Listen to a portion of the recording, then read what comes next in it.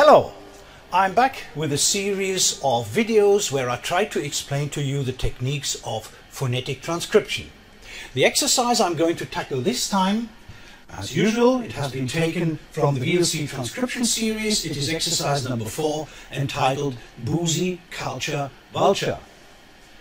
Well, and this is the task. We have to transcribe this text here phonemically, and we have to use the LPD notation, that is the notation that is represented in the Longman Pronunciation Dictionary. And the reference variety, the phonological variety we have to use is received pronunciation. As usual, stress, or the stressed syllables have been marked by means of single quotes, and for reasons of better referencing, we have inserted line numbers. Well, and to make the text easier to process, we have split it into three parts. Here are the first three lines. Now, if you're still familiar with the symbolic system of the LPD notation, I recommend to represent the vowels or to have a list with the vowels available so that you can always make sure have I used the correct vocalic symbol or not. Do we need the same for consonants? Well, I don't think so. Consonants are much easier to remember. Quite interesting are these two vowels where the LPD notation doesn't really represent new phonemes, but these are the so-called called weak vowels, the weak E as in many or funny, or the weak U as in got you, for example. Okay, let's start. Here is the first line, boozy culture vulture, and already here you see one of these weak vowels in boozy culture vulture. Apart from that, there's not really a problem. Line two, are you going abroad this year? Well, we have assimilation, but I will talk about it in a second. Line three, we haven't given much thought to it yet. Well, this is not problematic at all, and neither is line four. How about you? If we can afford, and then the text goes on. Now, what about connected speech? Well, we have several weak forms in this text. Marked blue, you, we, and to, we and can. All these are weak because they occur in unstressed position. These forms, which are marked red, are strong forms for the following reasons. Are could be weak, but are is unstressed and it occurs at the beginning of a sentence.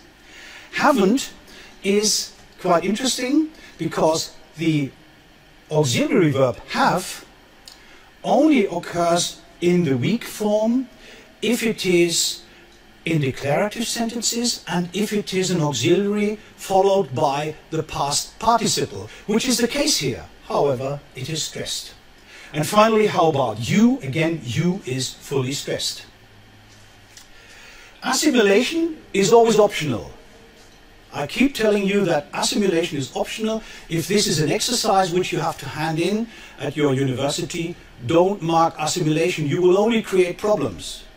But assimilation exists, the optional uh, connected speech effect of assimilation, like in this year, where we clearly have coalescent assimilation, where the alveolar fricative and the mm, palatal approximant, the palatal approximant assimilate to create this sh, a post-alveolar fricative. And we can have assimilation in given much where the bilabial nasal influences the alveolar nasal regressively. So here we have um, a case of regressive assimilation, and this of course must be given much. Okay, so this is the correct solution. Let's continue with the second part of the text. Line 5, to go there again, to go there again, and here you might want liaison, I will say something about it in a second, to go there again. Last year's place will suit us. Uh, will is really weak here because it is uh, unstressed. Now we have an alternative for again. Again could also be transcribed like this.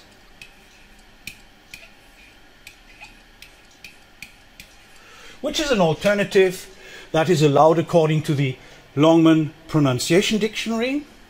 but it is only preferred by a minority. An alternative could also be suit instead of suit. You know, this is the effect of yod dropping. Meanwhile, the majority of RP speakers prefer prefers yod dropping. In line 6, well, there's not really a problem.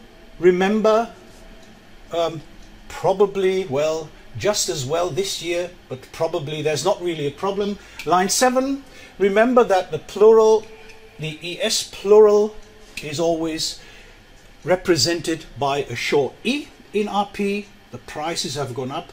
Arthur will go anywhere. Well, any is often a problem for our students because they illegally want to insert an ash here so it is not an ash so please forget this. Any uses the short e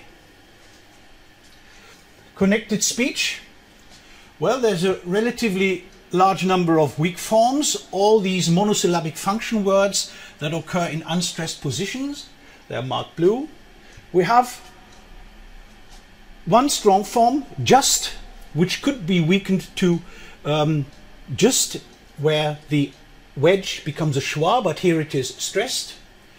We have a possibility, the optional possibility, again I emphasize it's optional, of inserting coalescent assimilation again this year, and but probably, but probably, where the alveolar plosive in but assimilates to the subsequent bilabial plosive and we get bup probably, bup.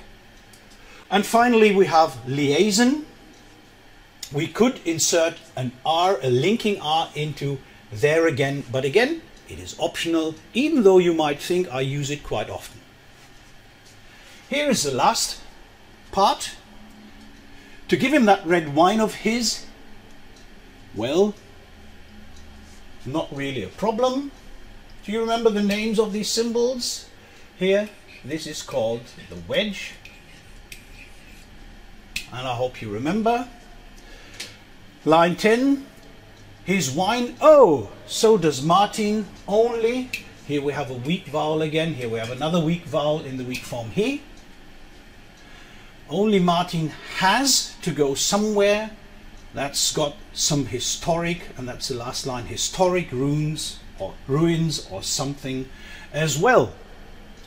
Well, let's finally look at connected speech effects. And here again, we have several weak forms and quite interestingly, two strong forms. So is strong because it is stressed and has is strong because, as I said, the weak form is only used when the word functions as the perfective auxiliary, but here it is clearly the equivalent of must. So it's not a perfective auxiliary, it has to be strong.